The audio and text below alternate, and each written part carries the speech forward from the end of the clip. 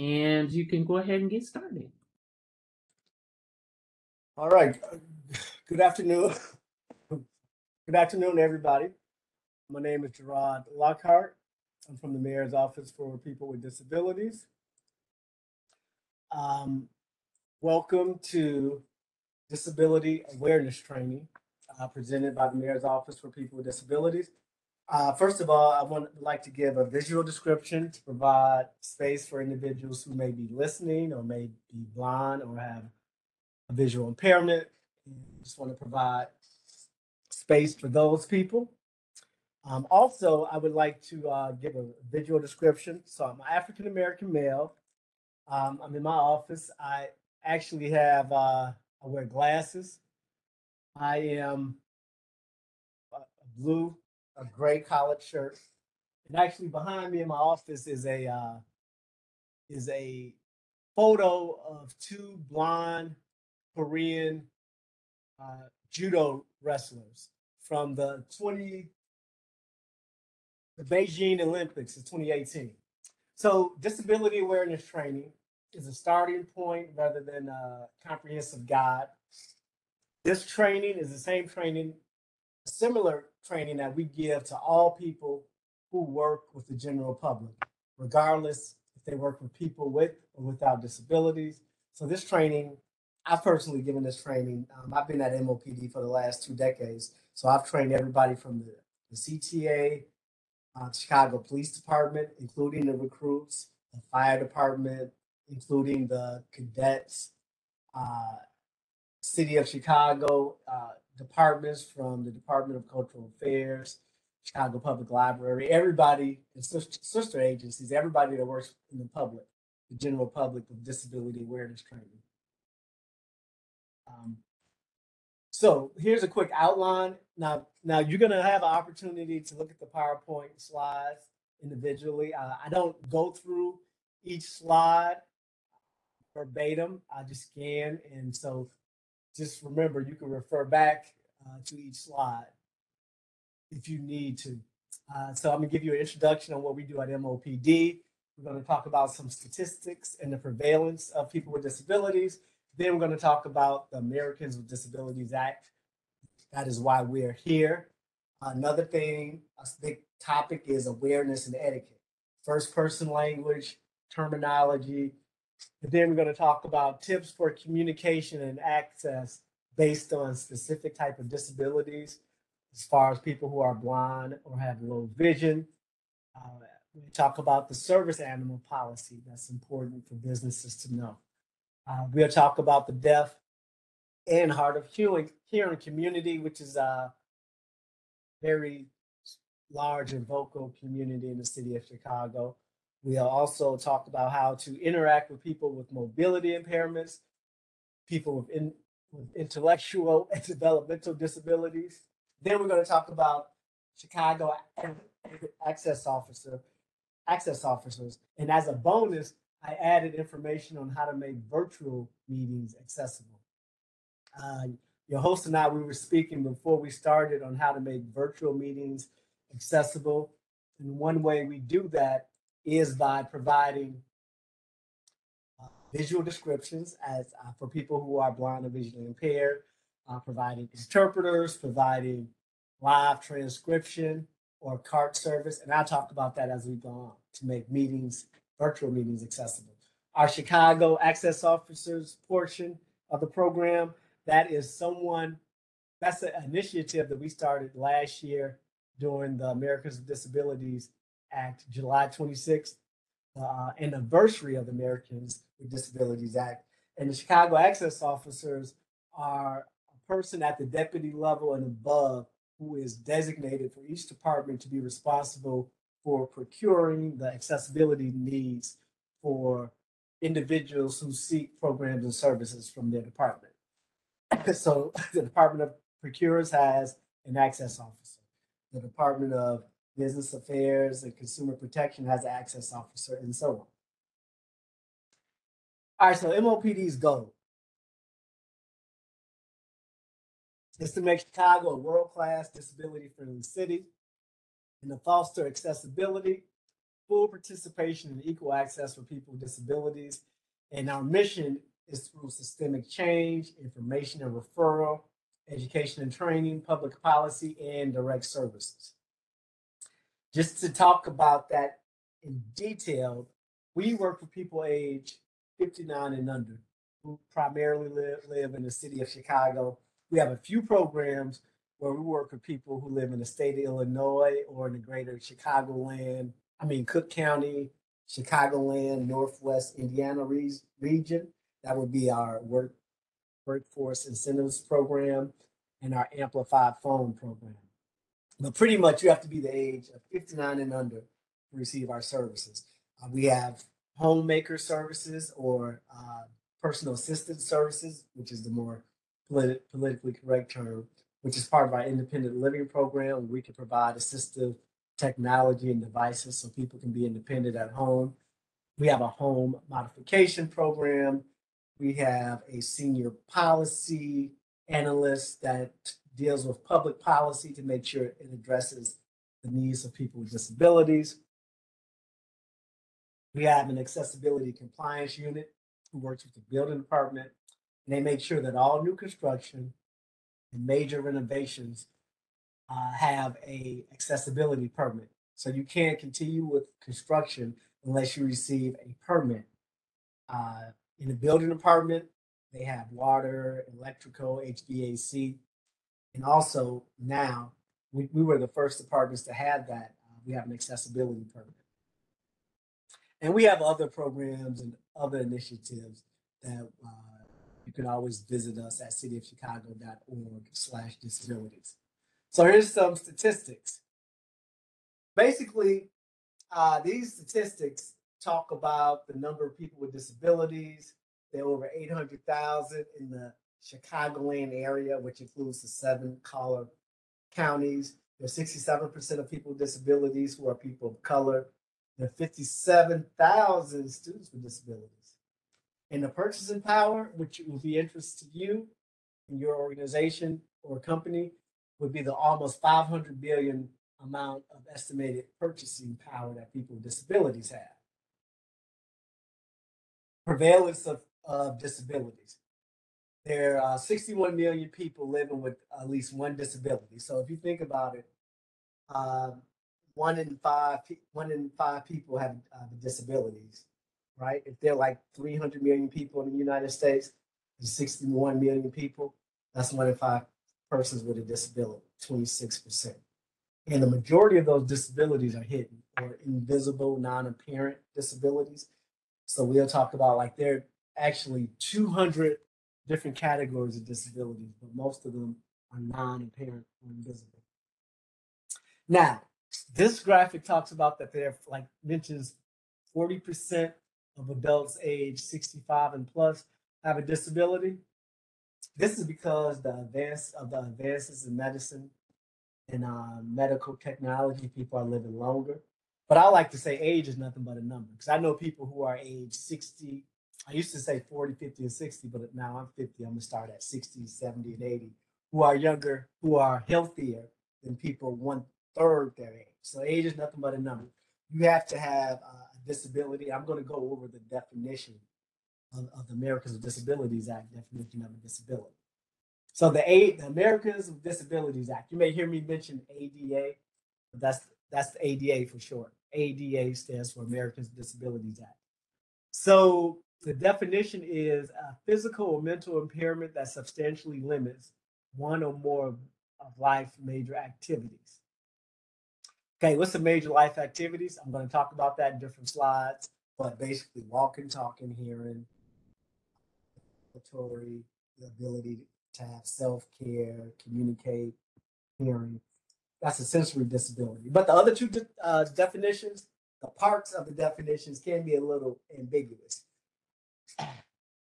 A person who has a history or record of such an impairment.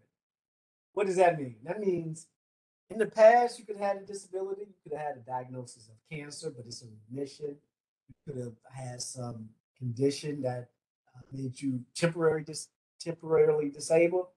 But if you overcome, not overcome that, but if you sojourn through that, but you still have a medical record of that, then you're protected under the law.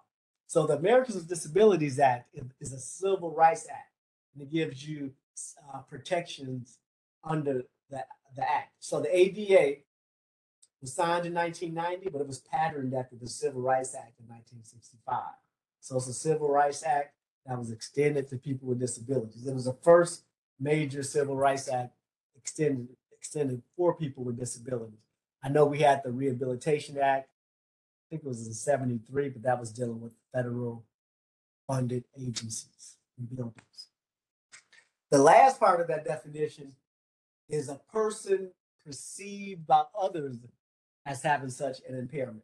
What does that mean? Let's say you're not disabled, you don't have a disability, but people make an assumption and they make they assume that you have a disability. Well, and if they and they treat you as if you have a disability, they may assume you have HIV or COVID or you have some deformity, and they think that your physical mental, that they think that it substantially limits one or more life activities, and they discriminate against you based on that, then you're protected under the law. That, that's what perceived. Don't have a disability. Your roommate have a disability and they assume that you have a disability, that means you're protected under the law. So at on your own time, I want you to definitely look over the different types of major life activities. I'm just going to point out a couple of ones that are invisible, endocrinological functions, immune functions, respiratory functions. You can't see these in individuals. You can't identify them unless someone discloses them to you. They're invisible. Types of disabilities, the same thing. These have names, but orthopedic, HIV, AIDS, diabetes, cancer, alcoholism. You don't know. You can't tell. Those those disabilities are non-apparent. But you know, there are over 200 different types of disabilities. So the ADA, uh, we talked about this. Uh, it was signed into law by George Herbert Walker Bush in 1990. That's when our department was founded after the signing of the ADA. So our department has been around since 1990. the ADA has five titles. Title one deals with employment, meaning your human resources department. Then the subject matter experts when it comes to Title one, dealing with employment. Uh, they provide, like if you have more than 15 or more employees, you have to provide reasonable reasonable accommodations for your employees with disabilities. So that deals with Title One. Title Two deals with the city of Chicago. We're a state local government program, local government. That means we have had to provide uh, equal access for people with disabilities for all of our services. Public accommodations, I highlighted it because it pertains to public, the private sector, uh, business owners, Telecommunications deals with telephone access for the deaf or hard of hearing. Uh, that would be people. That's why we have 711 relay services. That's why we have closed captioning on television shows. Title IV is kind of miscellaneous. It deals with retaliation and catches other uh, provisions.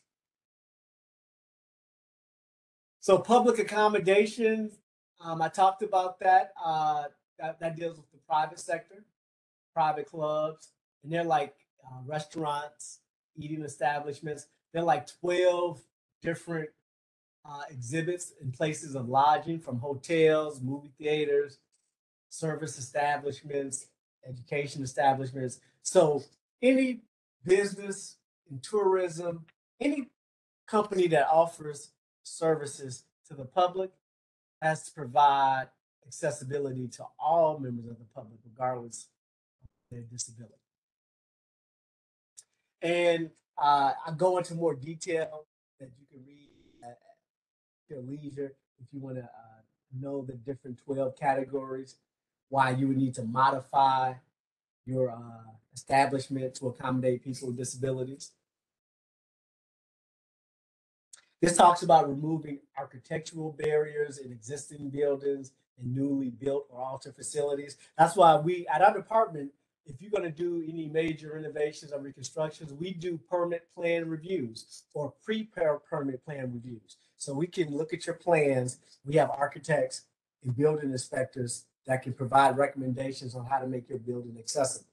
But the major reason why I'm here is the greatest challenge that people with disabilities face aren't not necessarily architectural barriers, it will be attitudinal barriers when quote unquote able bodied people treat them differently. We want you to treat people with disabilities the same way you treat everybody else. Right? Treat people with disabilities like people. So public accommodations and reasonable modifications. A reasonable modification on slide 17 deals with like how do you change your policies and make adjustments for people with disabilities. You can allow extra snacks for individuals with diabetes. You may have a policy saying no food allowed. If someone has to take medication, let them bring water. Uh, you know, if you're in the education program and people have information processing delays, then they may request extra time to take uh, tests, reading product labels and instructions. So someone may ask you to read something to them. English can be a second language. They can have dyslexia, or they can have low vision. Retrieving merchandise from high shelves. So these are the things where you can provide a modification. Menus, I'm going to talk about menus because I know after COVID we started using QR codes, but that's not accessible for people who are blind or visually impaired. But here's some barrier removal tips. Staff training, you can book uh, training with me, and I can provide uh, disability awareness training to your staff if you would like to have that. And there are tax credits for people who remove uh, barriers and make, and make their facility accessible. Okay, awareness and etiquette. Best practice is person first language. People first language means use a person with a disability, a person who is blind, not disabled person or blind person. Use the person first language. That means you respect their individuality or their disability. Now, there's something called identity first language, which mean what means ask the person how they want to be identified. Some people want to be identified uh, by their disability first. That's up to them, but ask them first. And use the term the individual uses. If you don't know, use people first. Well, I have something better than that what is the most universal term you should use to refer to people with disabilities by? And it's the best term. And it's also a term or word that can be understood in everybody's language and spoken. The individual's name.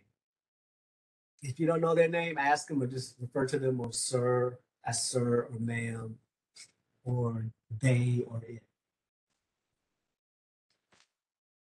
Words to retire. Handicap. You refer to people with disabilities as handicapped. I don't know if you can see this, but I'm holding the cap in my hand. You're referring to people, this term handicap referred to people who stood on street corners and begged for money. I don't know why in modern times. This was back during World War One. They didn't have a Veterans Administration, so the veterans would just have a cap in hand and beg for money. I don't know why in modern terms is used to refer to people with disabilities as being handicapped, because unconsciously, what are you saying about people with disabilities? Because it has nothing to do with their social economic status. You're saying that they're the debits of society, always looking for a handout. So we want you to eliminate eliminate the word handicap from, from your vocabulary. The universal accessibility symbol has a wheelchair in a circle encircling a wheelchair. It's a diet, it's a figure. That stands for the accessibility symbol. Also, words to retire would be special needs, differently able. Which words to use instead? Use accessible, accessible parking. I mean, when you refer to people, use their name. That's the best word. But when it comes to parking or restroom, this should put accessible in front of it. And we all have special needs. I know there's a Special Olympics, but you don't need to add special or these other terms that I added. I'm not, it's a whole list of terms that you should retire, even terms of endearment. No, we want you to treat people with disabilities like people, refer to them the same way you refer to everybody else. Okay, let's talk about tips for communication. Now, this can deal with people who are blind, visually impaired, people that have auditory disabilities, who are deaf or hard of hearing, or people with speech impairments, right? So if you communicate, if someone has a, a let's say they have a personal assistant or a friend with them, don't communicate through the friend or an interpreter. Don't communicate through the interpreter. Act like the friend or interpreter is not there and communicate directly with the person with the disability. And sometimes I know it's hard if, if somebody's an interpreter for this individual, um, but look at the person you're interpret, uh, you're communicating with, and don't speak through the person.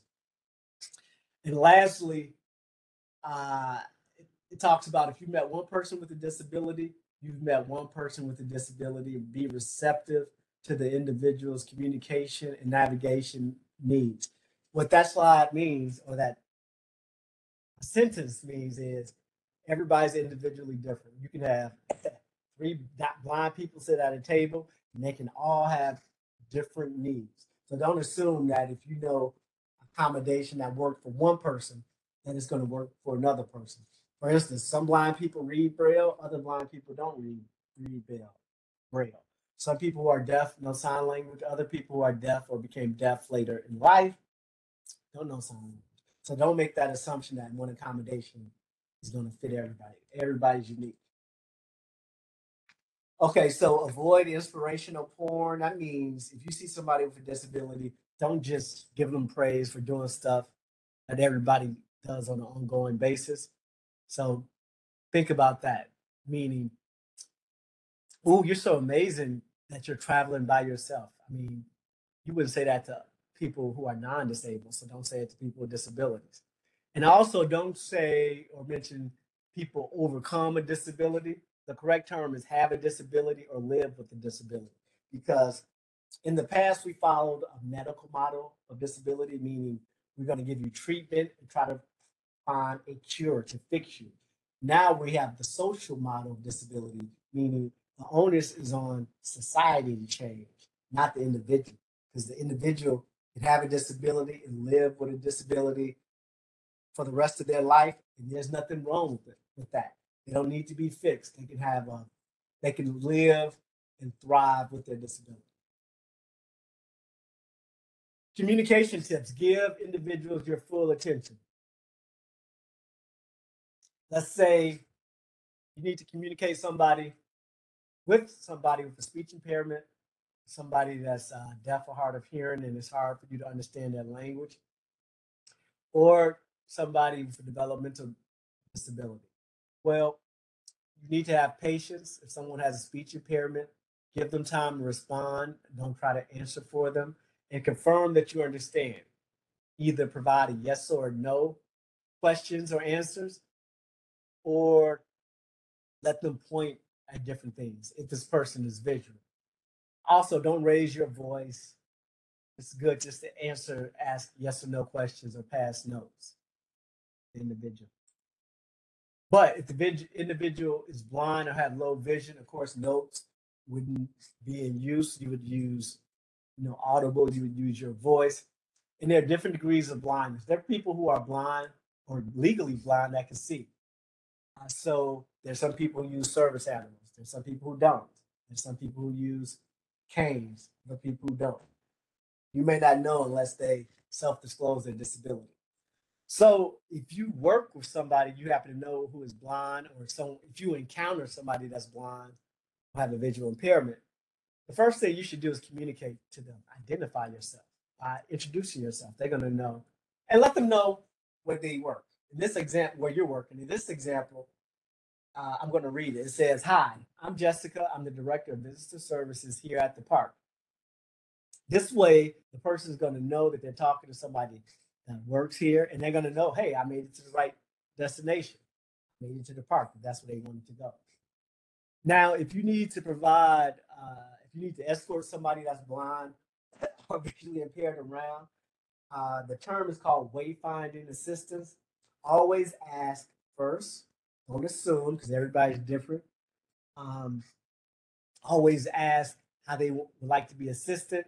Go on the other side of their, uh, let's say they have an assistive device such as a cane or a service animal. Walk on the other side of their service animal, and you stick your arm out and ask them, "How would you like for me to guide you? Would you like to grab my arm, hand, or elbow? Would you like for me to grab yours?" Everybody's different, so let them tell you how they want to be uh, escorted. And then when you are walking with this person, give them directional assistance, meaning use the clock cues instead of left or right. In your direction of travel, you need to say 12, 3, behind you is 6, to your left is 9 or 12 o'clock. So you give directional cues and make sure to point out any protruding objects. I know at City Hall we have like pay phones, uh, defibrillator devices, tourniquet devices that protrude from the wall. And if they're more than 27 inches above the floor, they are not cane detectable. An individual can bump into them. If they're lower than 80 inches from the ceiling, cause a head injury. Typically, that would be staircases or you know a lot of TV monitors that are wall mounted. They can be protruding objects. So just be aware of that.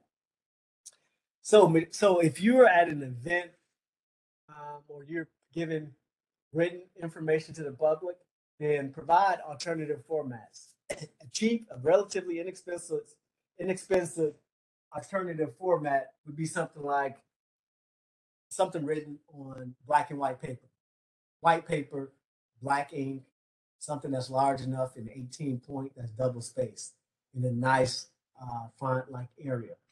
Individuals with low vision can read that or with a magnifying device. I know menus and uh, pamphlets that have shiny, glossy materials can be uh, have a glare and it can be hard to read. If you're at an event or program, you may have to provide an audio description where people are describing each event or each scene.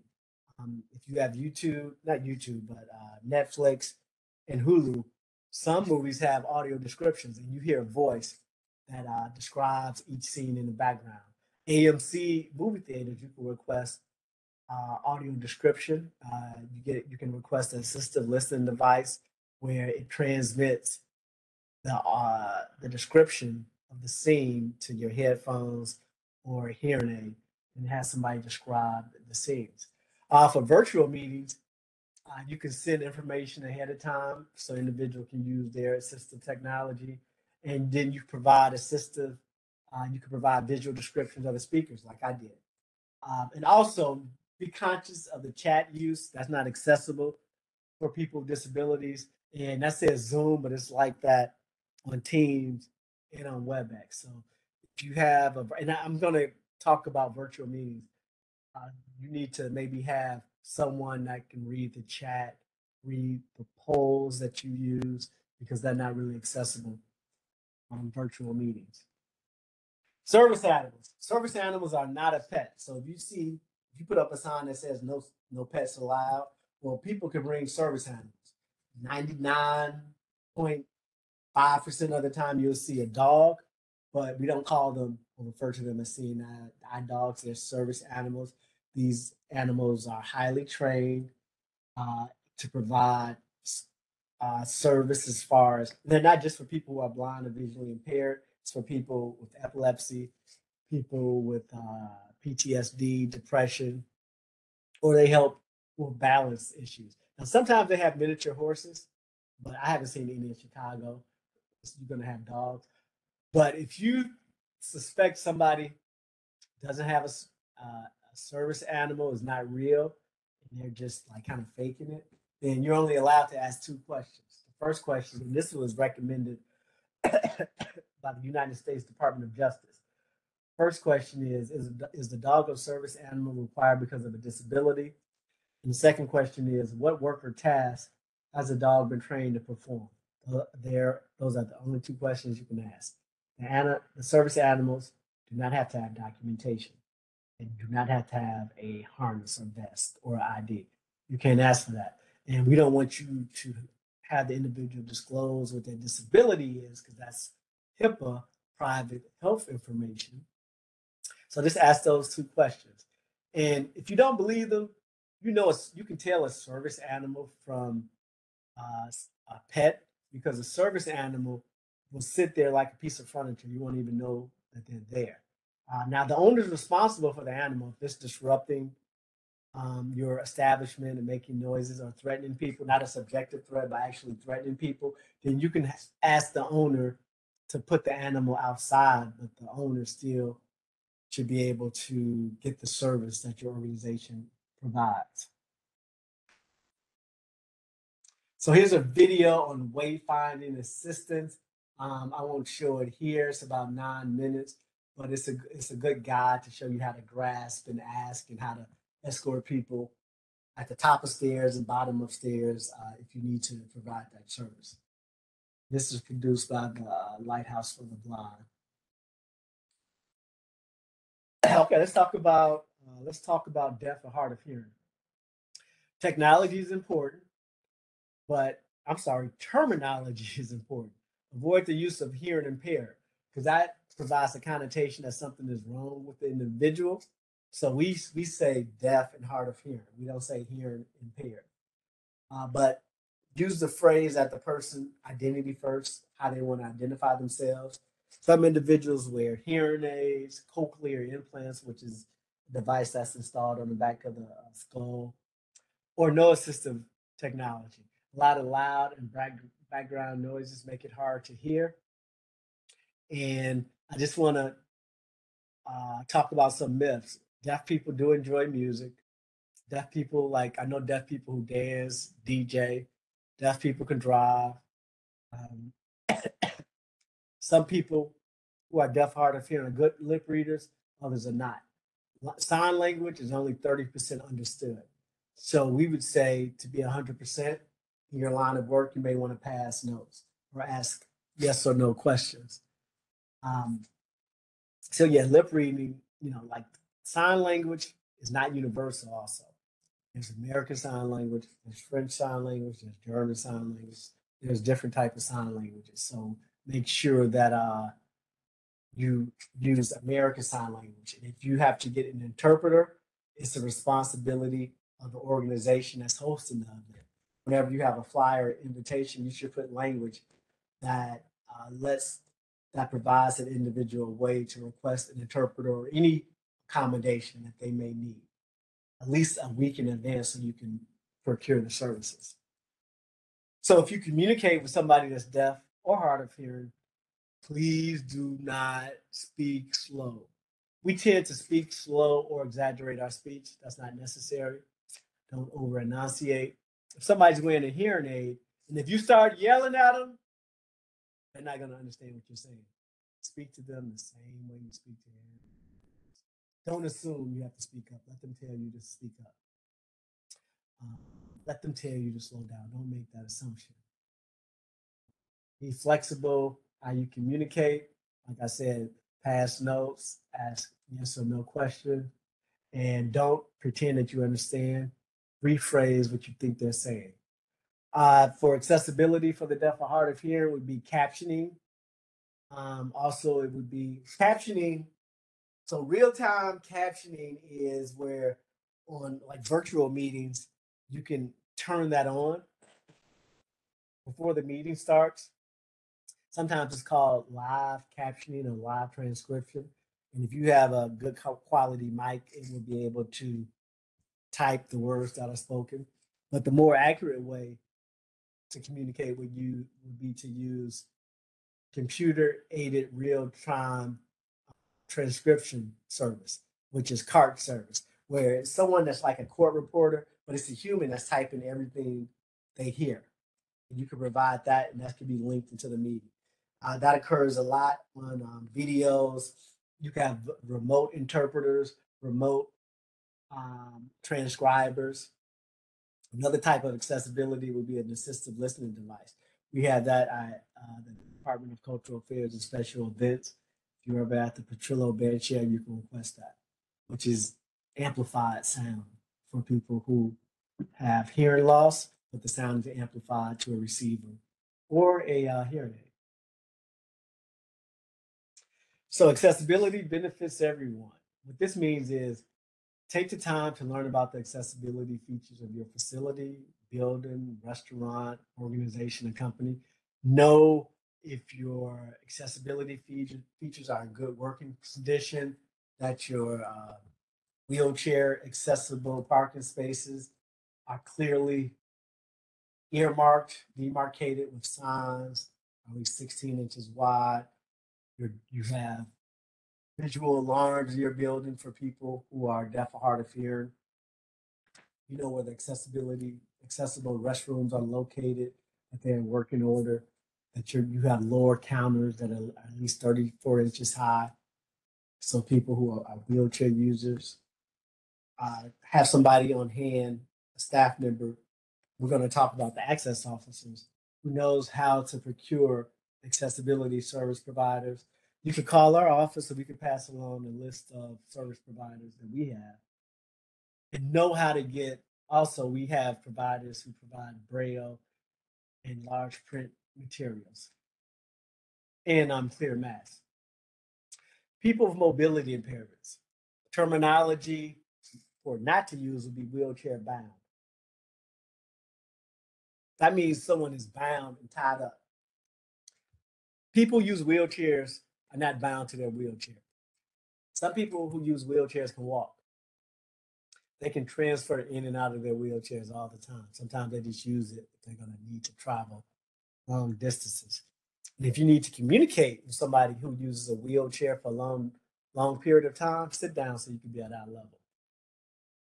Um, you know, like I like we talked about earlier, make sure that the accessibility features and the routes and the pickup drop off areas for your event or facility are are provided to the paratransit services or for your guests who may arrive. And pickup and drop off area is the closest place where someone can get picked up and dropped off to an event.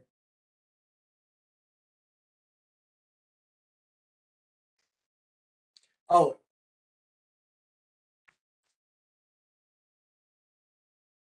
okay. I also want to talk about accessible physical spaces, like the, make sure that the lifts and elevators are in good working condition. When it comes to accessible seating, I want to talk about integrated seating.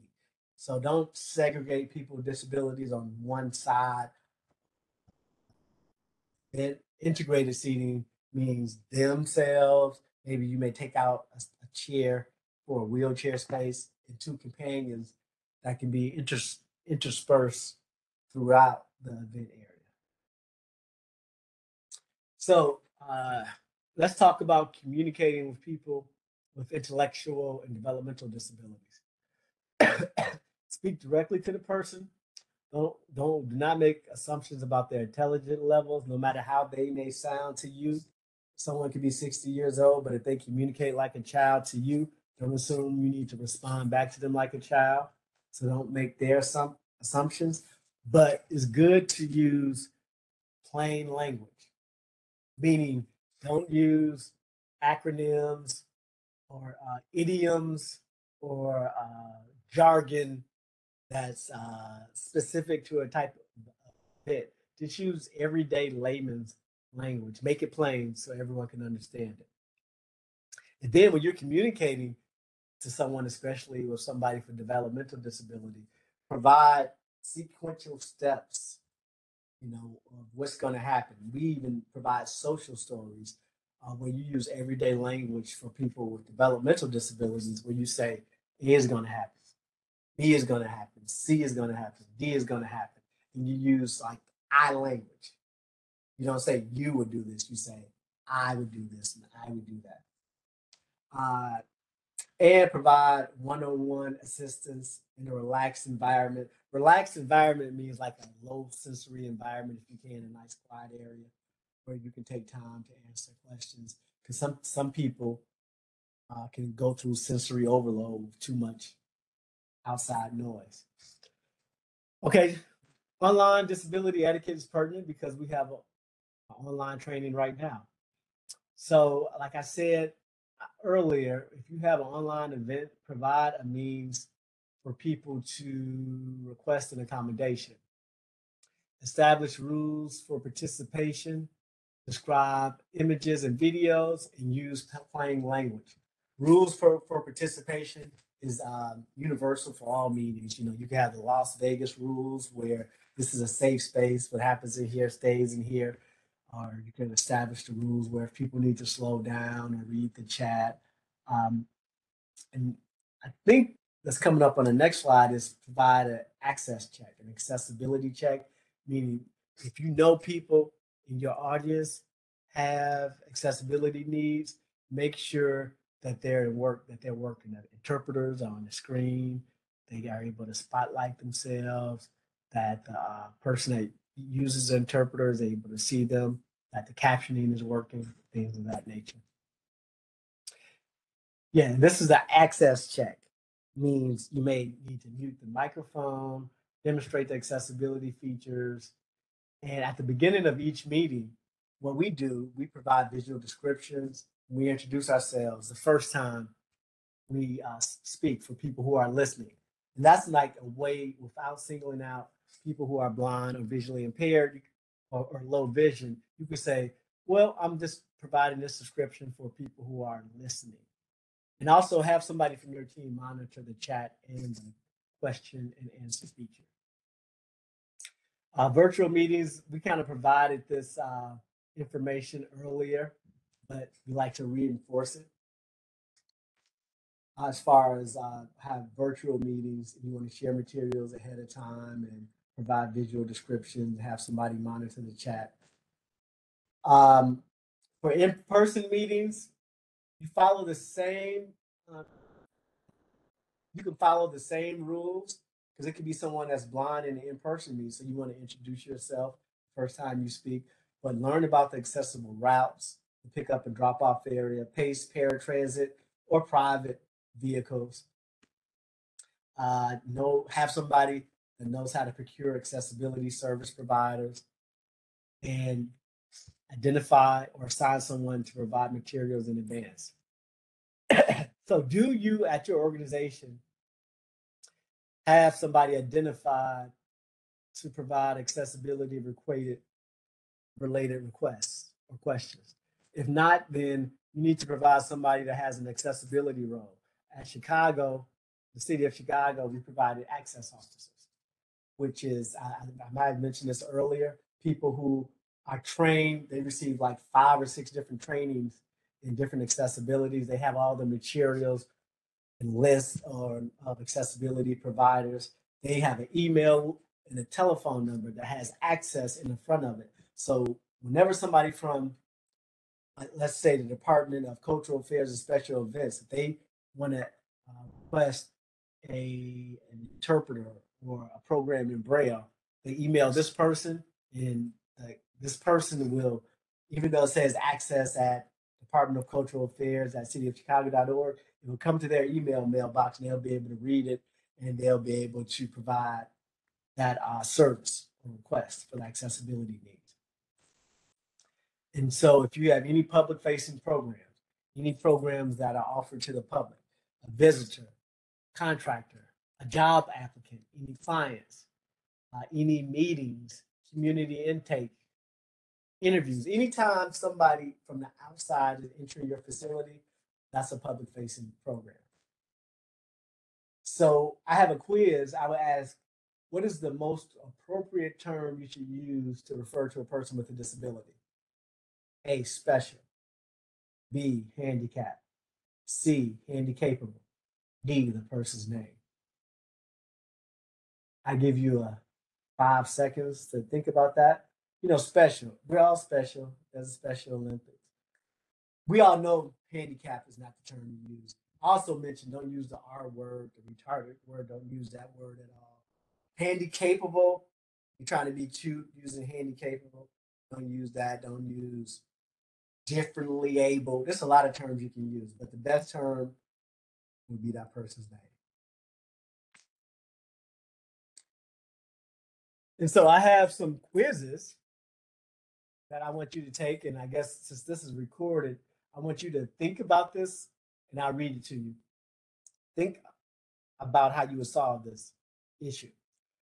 Scott visited a local Chicago restaurant for service animal Sam. After he sits down, the restaurant owner approaches Scott and tells him that the restaurant has a no pet policy. Scott states that the animal is a service animal. The restaurant owner asks Scott to show paperwork for the dog. Scott does not have paperwork, so he is asked to leave. Later that day, Scott calls the city to report this issue. And this would be the Department of Human Relations, stating that the restaurant owner is out of compliance with, I should say, his business license. Did Scott violate the no pet policy? How would you handle this complaint? Complaint. So, like we talked about before, and you can use the slides for reference, service animal is not considered a pet. Okay. Service animals can be individually trained. So the best way, Scott did not violate the no pet policy. The restaurant owner violated the ADA, the civil rights of Scott, the customer, by asking for paperwork and asking the owner, uh, the uh, guest, the patron to leave. So the best way you would handle this complaint is leave the person alone and let them sit down and enjoy themselves. You could ask them, what is the animal used for? And is this used for a disability? Those two questions, but that's it. Like I said, you can observe the behavior of the animal if you're if you want if you're wondering if it's a real service animal or not. And usually a service animal will sit underneath a chair, they get stepped on, you don't even know they're there. That's how a trained service animal behaves. And like I said, if the service animal is is kind of disruptive, then you can ask the person to let the service animal outside, but the person can still stay. So here's some testimonials. We uh, sent surveys out. We we're going to do this training to individuals um, to provide testimonials on customer service. So I'm just going to read some of them. Ideally, information about accessibility should be available to everyone. That means universal access. So, like I said, the longer you live can greatly increase your chances for developing a disability. And I know a person's disability awareness is pretty much based on their personal experience. And so you cannot, I cannot, even people with disabilities who work at our office cannot personally experience over 200 different types of disability disabilities. But if you provide as much accessibility as you can, it will serve universally serve everyone. It will future proof everyone. Uh, the next one is QR code was needed and a subsequent form needed to be completed, and as a result, the items had to be read verbally. Uh, I think I remember this. Uh, this like QR codes are not accessible for people who are blind or have low vision. So in that case, you may have to have an individual on staff read the menu items. I know some restaurants, the servers have to memorize the items. So just think about that. That's not anything that's written. Anything in one format, think about an alternative format. If something is spoken, then people who cannot hear need it written. If something is written, then people who cannot see need it spoken. So think about, always think about alternative formats. And the last testimonial is pointing instead of giving verbal directions. So someone asking for directions, especially at Home Depot, and someone points. Well, I shouldn't uh, point out Home Depot. Any place, because I know Home Depot has a no pointing zone, but any organization or company, if someone asks for directions, we say do not just point. It could be a reason why someone is asking you an obvious question. At the Taste of Chicago, we talk to the vendors at the restaurant booths. And if someone asks you for the menu, we tell them don't point at the menu item next to the ticket prices because it could be a reason. They could be blind or have low vision. They could be dyslexic and can't read it. Uh, English could be a second language. So just read the information if possible. Someone asks you for your name, even if you have an ID on, don't point at your name tag. Just give them your name. All right, so Q and A. This is what we talked about. Hopefully, you have some. This is just a starting point. Awareness of disability. Hopefully, we gave you some knowledge of the ADA, specifically Title III, public accommodations. Uh, hopefully, you had some aware. You received some awareness of how to communicate with people with varying disabilities, and how to gain awareness to develop an individual from an organization to address accessibility concerns. That individual, they can come to our office, call our office if they need any help at 312-744-4602. And on the slides you were provided, there's a link where you can sign up for disability awareness training. And actually, here's my um, information with the link. If you have any questions, my email address is J-E-R-O-D dot L-O-C-K-H-A-R-T at cityofchicago.org. Here's my phone number, area code 312-744-4602. And stay in touch with us. We're on Facebook at MOPD Chicago and Twitter, MOPD Chicago and Instagram. We also have a newsletter. We come out with a monthly newsletter and sometimes we have special features. So thank you very much for your time. Thank you so much, Jerod, for giving us that great uh, information. Um, we are able to take that in and be better for it uh, and be able to approach situations and uh, materials and all other kinds of things that we do so that we are in compliance uh, with uh, ADA and uh, we are serving serving the people in our communities much better. So thank you so much for that, and for those of you that are listening to this uh, workshop, we will post uh, this um, PowerPoint online. Uh, you can find it at www.chicago.gov backslash DPS and just search for the title of this workshop and you will see this presentation. Also, if you would like to go back and hear it live, you will be able to do so in YouTube at www.youtube.com backslash Chicago DPS. And then once you get to the Chicago DPS landing page in YouTube, you will just uh, go to the uh, playlist for workshops for 2022. Thank you so much and have a wonderful rest of your day. And we will definitely see you at the next or uh, participate with you at the next uh, presentation. Thank you. All right, have a good day.